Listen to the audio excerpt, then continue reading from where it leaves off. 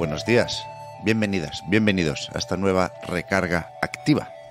Hoy es lunes 7 de agosto y disculpadme, suena un poco mal por una mezcla de resfriado o dolor de garganta y sueño.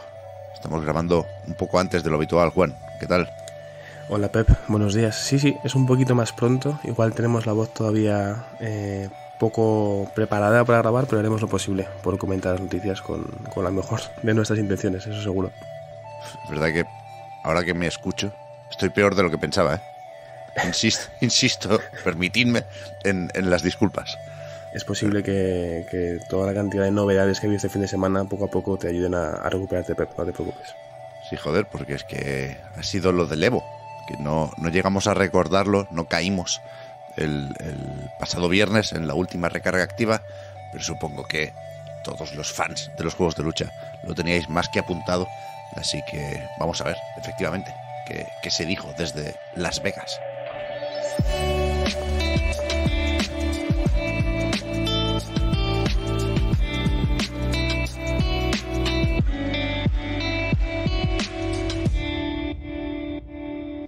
Estamos todavía repasando ¿eh? lo que dio de sí el, el, evento. A mí me faltan por ver las finales de los torneos y uh -huh. no sé si se va a quedar por ahí colgado algún anuncio, pero creo que no, creo que lo tenemos todo bastante bien apuntado. Y te diría que quizás no fue un Evo histórico, de aquellos para recordar. No, igual no, no fue histórico, pero tuvo ciertos momentos interesantes e importantes. Eh, bueno, para empezar, empezando por el final, ya sabemos la fecha del, del, año que viene, pues si alguien está muy interesado, creo que es del 26 al 28 de julio de 2024, podemos sí, apuntarlo ya. Pero ha tenido sus, sus, momentillos. Al principio recuerdo, al principio del fin de, eh, se celebró mucho por internet, como me parece lógico, la victoria de un jugador eh, invidente que, bueno, pues demostrando la, la accesibilidad ¿no? de ciertos juegos y, y, de lo bien montado que está el Evo, lo cual se celebra. Pero creo que al final, por lo menos para la recarga, tiene sentido hablar de, de los anuncios de juegos más, más importantes. Y creo que aquí podemos hablar de cuatro, sobre todo. El sí. Project L fue el primero, ¿no? En, en orden cronológico. Sí, sí. Van a tener que ser incorporaciones de planteles de luchadores en juegos ya anunciados. No ha habido novedades en ese sentido. Hubo un amago, un troleo al final, porque eh, se volvieron a juntar por un instante Yoshinori Ono, hacía mucho que no lo veíamos, y Harada, el de Tekken. Y lo que hicieron fue no un anuncio relacionado con Tekken Cross Street Fighter, sino una broma. Se quedó en eso, pero bueno, a mí me gustó ver a Ono y saludarle, que lo, lo perdimos un poco de vista. Pero efectivamente, Yasuo se incorpora ya a Project L, el juego de lucha de Riot, del League of Legends, que por lo demás sigue sin nombre y sin fecha tampoco. Sí, es verdad que hubo gente que pudo probar este 2 contra 2, que Yasuo es un clásico, incluso para los que no jugamos al LoL es como uno de los campeones más, más conocidos, también de los más odiados para quienes juegan al LoL.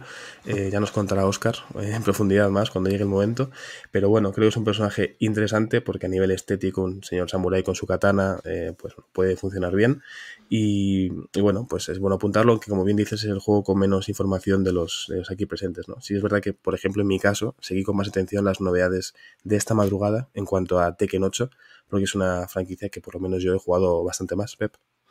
Pues también aquí seguimos sin fecha, que quizás era lo que muchos esperaban, y nos conformamos con dos incorporaciones. Por una parte está Raven, que lo conocemos desde hace ya unas cuantas entregas, uh -huh. y la nueva luchadora es Azucena, viene de Perú y, hostia, cuántas bromas sobre café, o cuántas menciones al café caben en, en un tráiler, ¿no? Creo que es un récord y no positivo, ¿no? Demasiado. O sea, al final te puedes saturar si cada dos frases son relacionadas con el café. Pero bueno, entiendo que, o espero que el juego no sea tan eh, constante la mención al café, por mucho que aquí seamos eh, realmente aficionados, ¿no? De, de tal eh, manjar. Pero sí, un nuevo personaje, yo creo que tiene un combate, un estilo de combate muy interesante, sobre todo. En el sí. tráiler lo podéis ver. Es esquiva mola mucho. Mm, queda muy, muy bien, seguro que es bastante interesante eh, masterizar ¿no? el, el, control de este personaje, pero las referencias al café son excesivas y bueno, el estereotipo al desarrollar sus personajes puede que sea un poco eh, bueno, de aquella manera. Pero bueno, sí, sí. tuvimos a Miguel en su día ¿no? como personaje español, me alegra que la comunidad hispanohablante siga contando con, con más personajes. Yo creo que va al palo, ¿eh? En algunas cosas, eh, esta Azucena, pero en general me parece que está gustando y, y veremos cuándo se puede jugar de verdad, entre comillas, ¿eh? quitando betas y pruebas varias a, a Tekken 8. El que sí está ya disponible es Street Fighter VI, que nos sorprendió, te voy a decir, con una colaboración con las Tortugas Ninja. Creo que mañana mismo se puede comprar ya, pero no corráis, cuidado. Eh, tened en cuenta que son eh, disfraces o trajes para personajes que ya, que ya tengas, no tienen un set propio de movimientos. Michelangelo y compañía. Sí, sí, eh, es buena la aclaración porque yo he visto esto a, despertarme a las 7 de la mañana y he dicho, madre mía, las tortugas ninja, me compro el juego. Luego ya he visto que eran eh, disfraces y he dicho, bueno, eh, calma. Pero bueno, para quien tenga el juego, para quien esté interesado, poder contar con los disfraces de las cuatro tortugas ninja, con accesorios, con emotes incluso, puede ser un, un aliciente para seguir jugando. Así que, bueno, me parece una colaboración interesante, por lo menos. no está mal el, diseño, ¿eh? Tortugas ninja. También hay hmm. más de mil y las que han puesto aquí no, no me desagradan. Ya estuvieron en un Injustice y tuvieron también su propio juego de lucha, así que que no les pilla esto de nuevo. ¿Tienes ganas, pequeño paréntesis, de la película de Tortugas Ninja, la nueva que están anunciando de animación? Tiene buena pinta, ¿no? Muchísima. Caos Mutante. Creo que es el 25 de agosto cuando se estrena. No sé por qué. Mi hijo no quiere ir a verla. Pero bueno. Pero yo voy solo y así voy a ver la versión original. Qué problema, ¿eh? No. Sí tengo muchas ganas, sí. Fantástico, fantástico. ¿Por dónde vamos? ¿Por Mortal Kombat? Mortal Kombat 1. Que en este caso sí teníamos la fecha desde hace mucho tiempo. Si no pasa nada raro, tendremos el juego el 19 de septiembre. Y ahora sabemos que podremos luchar también con Reptile, con Asra y con Havik. Sí, un, un tráiler bastante largo, 3 minutos 45 si no me equivoco, donde mezcla cinemáticas de historia con, con gameplay. La recta final es sobre todo puro gameplay con muchos fatalities y cosas bastante horripilantes, pero que entiendo que es a lo que venimos con, con Mortal Kombat. Eh, bueno, para quienes estéis interesados en este juego, me parece un, un tráiler interesante por eso, por su duración, por la cantidad de personajes nuevos que se suman al plantel, ¿no? más, más incorporaciones al elenco, y porque siempre está bien ver las desmembraciones y los eh, más horripilantes que os podéis imaginar. Sí, sí. Supongo que es lo que toca, porque ya digo, ¿eh? en mes y poco está este juego a la venta, pero parece que cada semana saquen un tráiler de estos más o menos currado, más o menos espectacular, y que anuncia luchadores de tres en tres. Sí, sí, sí, van, van sobrados. Al final, aparte del el recuerdo final ¿no? de este pack con personajes como Homelander y demás, mm. eh, parece que tiene un elenco tan grande que pueden permitirse el anunciarlos en grupos relativamente grandes, vaya, en vez de, uno a uno. Sí, sí. Después hay otros muchos juegos de lucha ¿eh? que quizá no son tan importantes por ventas como estos, pero yo que sé, a mí me gusta ver que SNK lo sigue intentando con esto de su regreso triunfal y quizás puede ayudar un poco a eso. El próximo Fatal Fury estaba ya anunciado. Eh, estos días se ha enseñado un poquitín de cómo se ven los personajes en la línea de los últimos King of Fighters, te diría yo. Y tenemos el título también. Se llamará Fatal Fury City of the Wolves. Y parece que todavía le queda un poco para ir amenizando la espera, como se suele decir. También vimos que el 16 de noviembre publican una nueva versión de The King of Fighters 13, que lleva la coletilla de Global Match y que es una, bueno, una actualización para el último pixelado. Tiene sentido recuperarlo, tiene sentido meterle el rollback netcode en Play 4 y Switch, que es lo que da un poco sentido a esta nueva versión. Y después, Arc System, que a mí me gustan mucho sus Guilty Gear, por ejemplo, se anunció tercera temporada, se estrena con Johnny, este personaje que ya conocíamos con las monedicas y la katana, y después han puesto fecha al Grand Blue Fantasy vs. Rising, 30 de noviembre.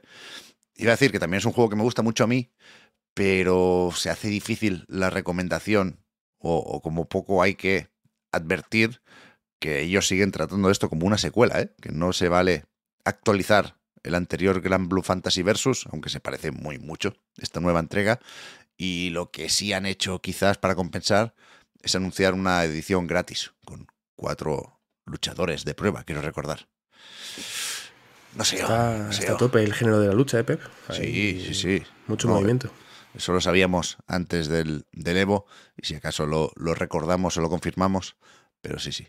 Incluso con esto de las celebraciones, se anunció una actualización para Killer Instinct, el juego de Xbox que no, no está ya para nuevos luchadores, pero sí se, bueno, se actualizará este mismo año con una versión para Serie X, Serie S, que cambiará algunas cosas, le meten el, típico ajuste en el equilibrio o en el balance y, y le meten 4K, claro, para que se vea guapo en la consola nueva. A tope. Bien, decía lo de que no es histórico al principio por lo de los anuncios, ¿eh? pero un, un Evo siempre apetece y es verdad que, que al final sacar esa conclusión, la de que nos recordamos otro momento igual para el género de la lucha, me parece, me parece destacable. Sí, sí. Sí, sí, sí, sí, sí. Sólido. Por lo menos es un seguro el Evo. Eso siempre está bien. Estos días hemos leído también sobre un cierre. Se queda el Embracer Group con un estudio menos, Juan. Le quedan 3.564 aproximadamente. Sí, sí, sí, es eh, raro, ¿no? Dar una noticia en vez de una compra de un, un cierre, pero es verdad que, que se hablaba, ¿no? También de despidos, de cierres, de reajustes, después de leído un, un- un trato millonario que no salió muy bien. Sí. Y en cuanto vi la noticia dije, bueno, eh, menos mal que tengo a Pep, porque si hay algún tema de industria que, que no entiendo, tú siempre nos aportas luz al respecto. Sí, sí, no se, no se llegó a detallar o a especificar con quién era ese trato, pero se, se daba a entender que eso, que era un- una licencia, supongo que varia- para varios juegos, y se, se anunció justo antes de un informe financiero del Embracer, y, y estaba su CEO con, con, con mala cara ese día, y ya dijo que habría que plantear una serie de recortes y reajustar algunos objetivos. Supongo que se habrán llevado una pequeña alegría últimamente con el Remnant 2, pero, pero sí, de momento cierran un estudio que habían abierto en septiembre. No, no era una adquisición, con lo cual es un agente que no, no conocíamos de antes, no, por lo menos dentro de este estudio, que se llamaba Campfire Cabal y que estaba preparando un, un RPG táctico. Es bastante, a mí me parece muy llamativo, ¿no? Lo de abrir un estudio y en menos de un año tener que cerrarlo, sobre todo siendo una entidad tan grande, ¿no? Como, como Embracer Group, pero bueno, también me, parece sorprendente cómo han hecho de forma civilina esto para escapar del Financial Friday de la recarga. Una, una pena. Ya, ya. A ver, supongo que no será el, último cierre ¿eh? dentro del Embracer Group, porque no te voy a decir que hay que hacer limpieza, porque suena muy mal. Al final estamos hablando de personas, pero sí que, que van a insistir con la reestructuración, vaya. Supongo que usarán una palabra de esas. Después, joder, aunque no estuviera en el Evo, podríamos haber colado en el bloque de las hostiejas la, la última actualización del Sifu, que saldrá el 7 de septiembre con más arenas, supongo. El tráiler iba por ahí. Sí, iba por ahí. Es verdad que son seguramente los golpes más contundentes e interesantes del panorama en los últimos años. Mucha gente ha hablado de Sifu últimamente, ¿no? Porque pronto se estrena el Angard, que mucha gente lo, ha comparado, pero Sifu, el original, eh, nada, eso dentro de un mes, 7 de septiembre, tendremos esta actualización, por lo menos para PC, PlayStation y Xbox. Al parecer, todavía no se sabe cuándo llegará a Nintendo Switch esta, este nuevo contenido. Es verdad. Caerá un, un poco más tarde, pero no. Supongo que no, que no habrá muchos problemas o que no tocará esperar muchísimo. Baldur's Gate 3 creo que sigue siendo el juego del momento. El viernes bromeábamos con los jugadores concurrentes cuando eran 400.000 y pico.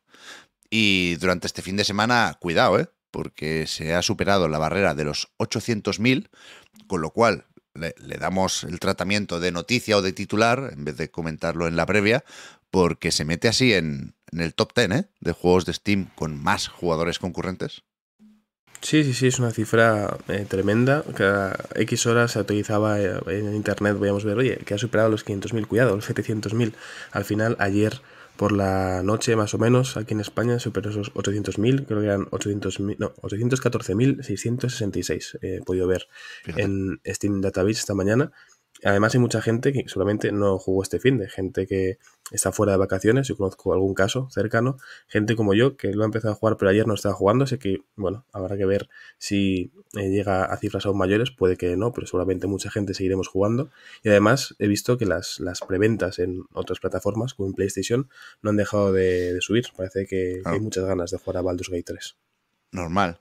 Yo llegué a leer algo sobre las ventas del acceso anticipado, es decir, aquí habrá mucha gente que ya tenía el juego y que necesariamente empezaba una partida nueva en, esta versión 1.0, creo que eran dos millones y medio de ventas en acceso anticipado, pero esta cifra de concurrentes nos hace pensar en unas ventas mucho más abultadas desde este lanzamiento oficial, con lo cual yo creo que el Arian no va a tardar mucho ¿eh? en dar una cifra. Creo que va a ser un dato muy positivo.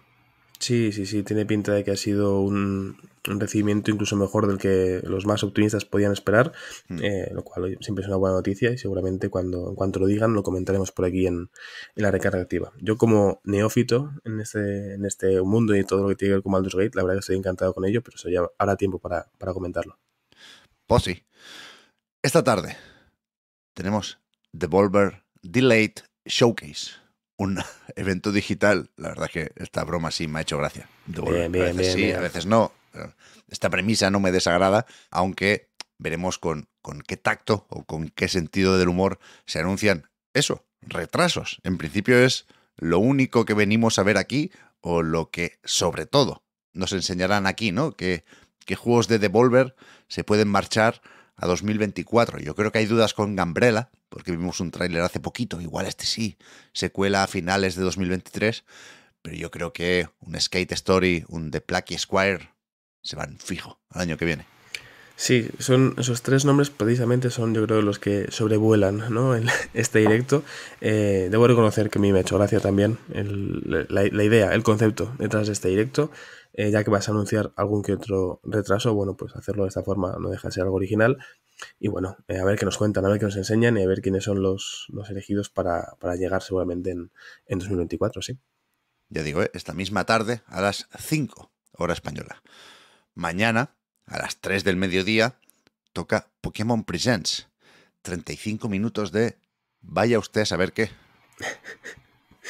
Eh, me gustaría ser optimista, Pep. El otro día Ángel Beltrán de Talpa me dijo que cuando estábamos tú y yo en la recarga yo hacía un poco la parte optimista. En esto me cuesta, pero bueno, ahora que ver, quizá, quizá nos sorprenden, quizá nos, decir que nos cae en la boca, tampoco hace falta llegar a ese punto, ¿no? Pero igual está bien. Eh, creo, antes de grabar te comentaba que no va a ser seguramente el, mi Pokémon Present favorito, que habrá cosas para juegos que igual no me interesan, que habrá alguna que otra raid y evento que no es algo que me llame mucho, pero yo siempre albergo la esperanza, ¿no? Hay mucha teoría sobre esa M que, que glitchea, que parpadea un poquito.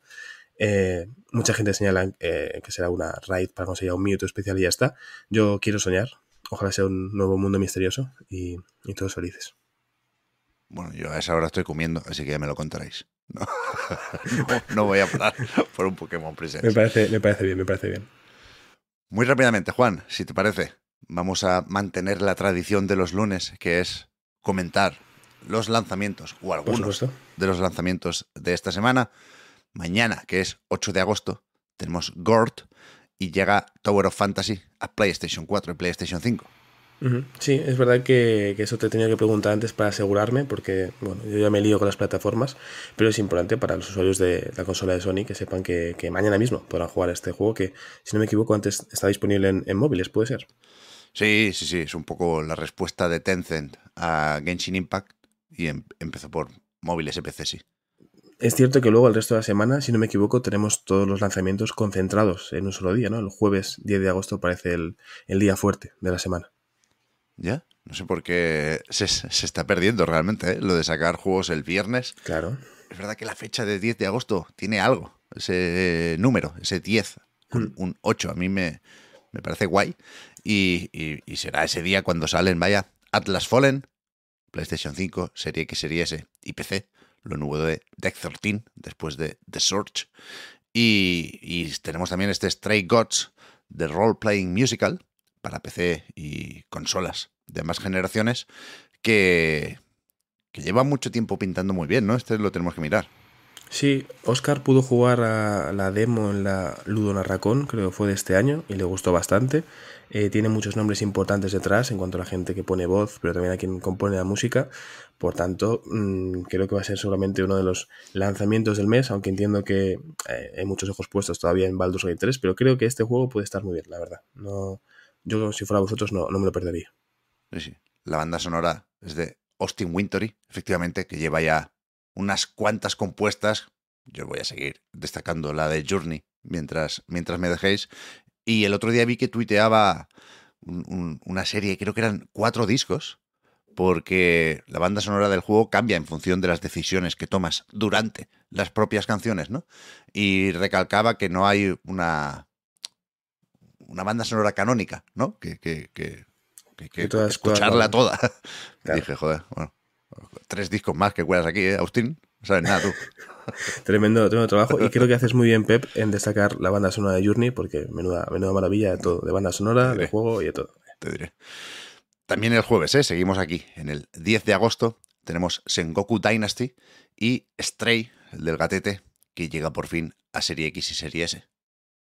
Yo, la verdad, que muy fan de, que los juegos exclusivos terminen llegando a, otras consolas. El anuncio en su día de Stray me pareció muy chulo. El gato tirando el, mando de Xbox al suelo.